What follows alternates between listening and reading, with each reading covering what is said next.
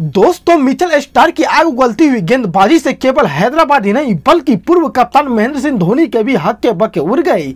जी हाँ दोस्तों, कोलकाता और हैदराबाद के बीच क्वालिफायर वन के महा मुकाबले में चार चाँद लगाने के लिए खुद महेंद्र सिंह धोनी भी अहमदाबाद पहुँचे थे और उनकी उम्मीदों को मिचल स्टार ने 440 वोल्ट का झटका उस समय दिया जब उन्होंने अपनी कातिलाना गेंदबाजी हैदराबाद के बल्लेबाजी क्रम को धज्जा उड़ा दिया और एक के बाद एक तीन सफलताएँ हासिल की।